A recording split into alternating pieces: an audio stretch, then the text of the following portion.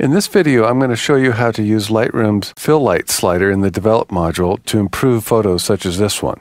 This is an example where the light is coming mostly from the back and the face, or in this case, the foreground, is too dark. I'm going to come over here. I'm in the right panel under the basic pane, and I'm just going to start right away by moving the fill light slider over.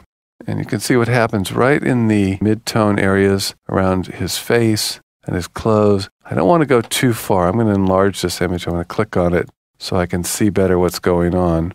And actually, I'm going to go too far to the right. And you're going to see one of the consequences of applying too much fill light. Gives it solarized look that's not very pleasant. Also, it really enhances the noise in the shadow areas. So let me bring this back down a little bit. I just have to get that so it looks right and I don't go too far with it. Okay, what about right about there? So you can see that by opening up these shadow areas, I've really also introduced a lot of noise. One of the things about Lightroom 3 that I absolutely love is the ability to go in and really do some serious noise reduction with the luminance slider. So I'm going to go into the detail pane.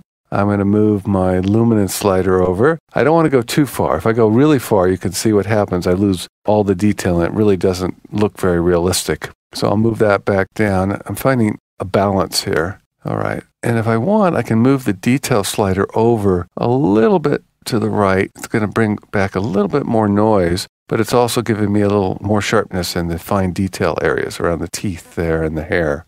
So again, this is just a matter of taste, getting it right and not going too far.